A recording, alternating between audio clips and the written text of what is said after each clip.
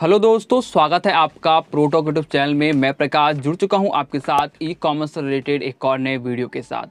दोस्तों, अभी मेरे हाथों में आप देख रहे हैं ब्रांड ऑथराइजेशन लेटर है और आज की वीडियो में मैं आपके साथ बात करूँगा कि ब्रांड ऑथराइजेशन लेटर क्या होता है और इसे आप कैसे ले सकते हैं। दोस्तों, होता ये है कि जब भी आप किसी दूसरे ब्रांड का प्रोडक्ट ऑनलाइन मार्केट प्लेस जैसे अमेज़ॉन फ्लिपकार्ट पर सेल करना चाहते हो तो आपसे उस ब्रांड का ब्रांड ऑथराइजेशन लेटर मांगा जाता है। आज की वीडियो में हम देखेंगे कि ब्रांड ऑथराइजेशन लेटर आप कैसे ले सकते हो। साथ ही ब्रांड ऑथराइजेशन लेटर लेने के लिए आपको कैसे कांटेक्ट करना होता है डिस्ट्रीब्यूटर्स को या कंपनीज़ को, ये सब कुछ इस वीडियो में डिटेल में बात करेंगे। तो चलिए दोस्तों, आज का वीडियो शुरू करते हैं।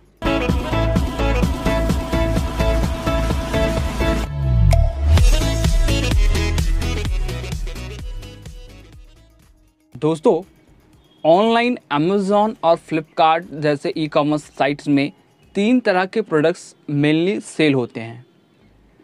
दोस्तों फ़र्स्ट टाइप के जो प्रोडक्ट होते हैं, वो होते हैं प्राइवेट लेवल प्रोडक्ट्स अब इसमें होता ये है कि सेलर्स जो होते हैं वो अपना ट्रेडमार्क लेकर आते हैं किसी भी प्रोडक्ट का और उसे फिर सेल करते हैं अपने ब्रांड नेम के अंदर। क्योंकि यहाँ पर जो ब्रांड नेम होता है, वो आपका खुद का हो जाता है। तो यहाँ पर आपको ब्रांड ऑथराइजेशन लेटर की ज़रूरत नहीं होती है, क्योंकि आप वहाँ पर ट्रेडमार्क शो कर रहे होते हो। तो आपका कंपटीशन भी कम हो जाता है ब्रांड ऑथराइजेशन लेटर की ज़रूरत नहीं होती है, और ट्रेडमार्क से आपका काम चल जाता है। फिर दोस्तों, दूसरा तरह के प्रोडक्ट्स होते हैं जेनरिक प्रोडक्ट्स अब यहाँ पर ये होता है कि हम उन प्रोडक्ट्स पर ना किसी भी ब्रांड के नेम से उन प्रोडक्ट को सेल नहीं कर रहे होते हैं, बल्कि उसके ब्रांड के नेम की जगह पे हम जेनरिक यूज़ कर रहे होते हैं। फ्रेंड्स इसमें आपको ना ही ट्रेडमार्क देना होता है और ना ही आपको ब्रांड ऑथराइजेशन लेना, देना पड़ता है इस तरह के प्रोडक्ट्स के लिए। दोस्तों थर्ड टाइप के जो प्रोडक्ट्स होते हैं, वो होते हैं किसी दूसरे ब्रांड के प्रोडक्ट यानी देखिए, यहाँ पर जैसे मेरे पास एक ज्योति कंपनी का नाइफ सेट है, ठीक है? तो फ्रेंड्स ये जो ज्योति यहाँ पर आप ब्रांड देख रहे हो, ये ना ही मेरा है और ना ही इस प्रोडक्ट को मैंने मैन्युफैक्चरिंग की है। अब मुझे इस प्रोडक्ट की रीसेलिंग करनी है ई कॉमर्स वेबसाइट पर मुझे इसे लिस्ट करना है और इसकी सेलिंग स्टार्ट करनी है। दोस्तों, क्योंकि ये थर्ड पार्टी ब्रांड है और मुझे इसको लिस्ट अगर करना है तो मैं इस ब्रांड का ऑनर भी नहीं हूँ। तो जब मैं इसे अमेज़ोन या फ्लिपकार्ट पर लिस्ट करने जाऊँगा और वहाँ पर जब मैं ब्रांड नेम डालूँगा ज्योति तो होगा ये कि कंपनी जो है वो मुझसे मांगेगी, आप इस कंपनी का ब्रांड ऑथराइजेशन लेटर दीजिए। क्योंकि दोस्तों अमेज़ोन और फ्लिपकार्ट एक बेल ऑपरेटेड कंपनीज़ हैं और ये नहीं चाहती कि उनके कस्टमर तक डुप्लीकेट प्रोडक्ट्स पहुँच जाए।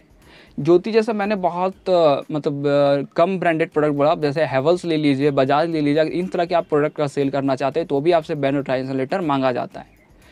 फ्रेंड्स यहाँ पर अब ब्रांड ऑथराइजेशन लेटर को समझते हैं। तो ब्रांड ऑथराइजेशन लेटर दोस्तों, जो भी कंपनी इस ब्रांड का ऑनर होगी, इस प्रोडक्ट के ब्रांड का जो ऑनर है, जो भी कंपनी उससे हमें एक लेटर लेना पड़ेगा कि हाँ मैं जो भी आपके फार्म का नाम हो, प्रकाश सेल्स को ऑथराइज करता हूँ कि वो हमारे प्रोडक्ट को सेल कर सकती है। अब फ्रेंड्स यहाँ पर जब भी आप अप्लाई करोगे, तीन तरह के डॉक्यूमेंट्स आपसे मांगे जाएँगे। तीनों में कोई आपको एक देना होता है। या तो आप ब्रांड ऑथराइजेशन लेटर ला कर दीजिए, या फिर आप ट्रेडमार्क दीजिए, या फिर आप इन्वाइस दीजिए डीलर का परचेज इन्वाइस अब फ्रेंड्स तीनों को एक एक समझते हैं।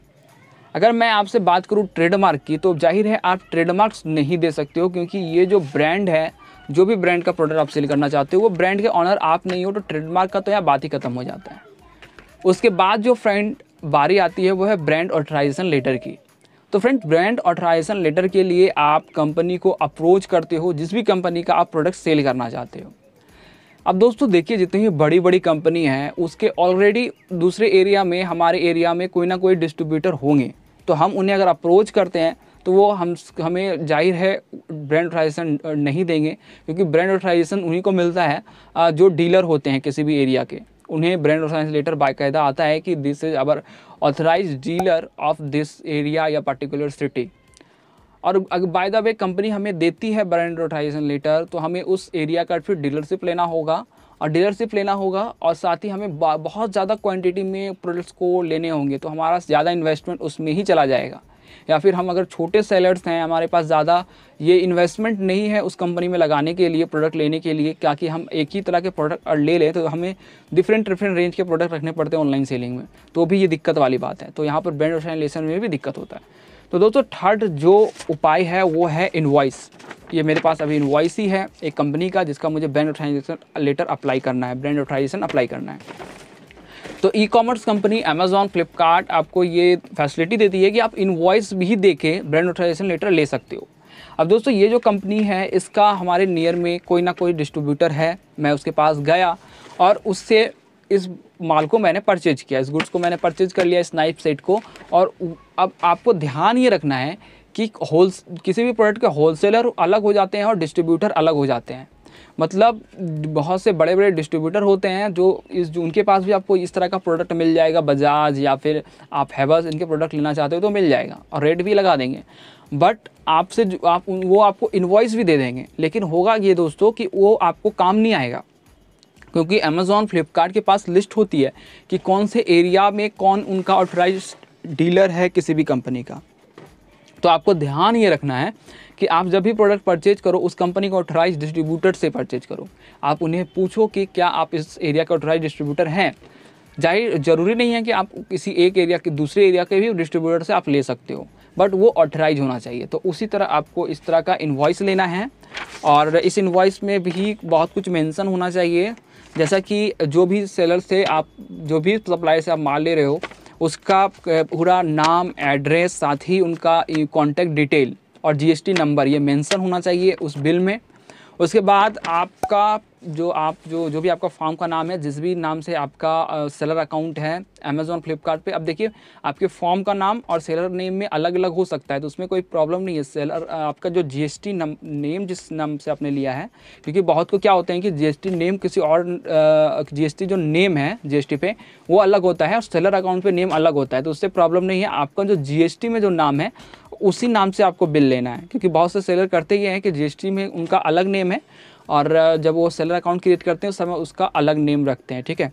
तो आपको जो जीएसटी में आपका नाम है जिस भी नाम से आपका फॉर्म है, उस नेम पे आपको यहाँ पे शो कराना है।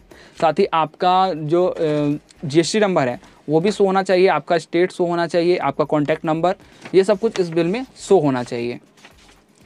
और इस बिल से फिर आपको आपको अप्लाई करना है, जिस भी ब्रांड को आप सेल करना चाहते हैं, ठीक है? तो फ्रेंड्स इस वीडियो को मैंने दो पार्ट में डिवाइड किया आज फ़र्स्ट पार्ट में आपने देखा कि ब्रांड ऑर्गेनाइजेशन लेटर क्या होता है। सेकेंड पार्ट कल ही अपलोड हो जाएगा, जिसमें मैं फ्लिपकार्ट आपको ब्रांड ऑर्गेनाइजेशन लेटर कैसे अप्लाई करते हैं। तो इसी इन्वॉइस को मैंने अप्लाई किया है। एक कंपनी का इलेक्ट्रिक प्रोडक्ट है, जिसको मैं, जिसका ये बिल है और इसको मैं ब्रांड ऑर्गेनाइजेशन लूँगा। तो इसका मैं अप्लाई करके आपको लाइव दिखाऊँगा। तो कल के वीडियो में आ जाएगा। कि कौन कैसे इसे अप्लाई करना है। साथ ही उसी वीडियो का आपने अगर देर से देख रहे हो तो उसी वीडियो का लिंक भी मैंने डिस्क्रिप्शन में डाल दिया है। आप लिंक के थ्रू भी जाके देख सकते हो कि फ्लिपकार्ट हम ब्रांड अप्रूवल कैसे लेंगे किसी भी कंपनी का इन्वॉइस के थ्रू। तो आई होप दोस्तों, आज का वीडियो आपको अगर पसंद आया तो लाइक करें। साथ ही इस वीडियो से रिलेटेड आपका कोई क्वेश्चन है कि ब्रांड उठाइजेशन लेटर से कुछ पॉइंट अगर मैंने छोड़ दिए और आपका क्वेश्चन रह गया है तो आप कमेंट कीजिए कमेंट में आपको रिप्लाई दूँगा। साथ ही मैं इंस्टाग्राम पर भी एक्टिव हुआ, वहाँ पर जाकर मुझे फॉलो करके डीएम कर सकते हैं, वहाँ भी मैं आपको रिप्लाई ज़रूर दूँगा। वीडियो पसंद आया तो आपको लाइक करना है फ्रेंड्स चैनल पे नए हो तो प्लीज़ सब्सक्राइब कर दीजिए। इस चैनल पे मैं ऑनलाइन सेलिंग से रिलेटेड वीडियो आपके लिए लाता रहता हूँ। Thank you for watching this video मिलते हैं नेक्स्ट वीडियो में।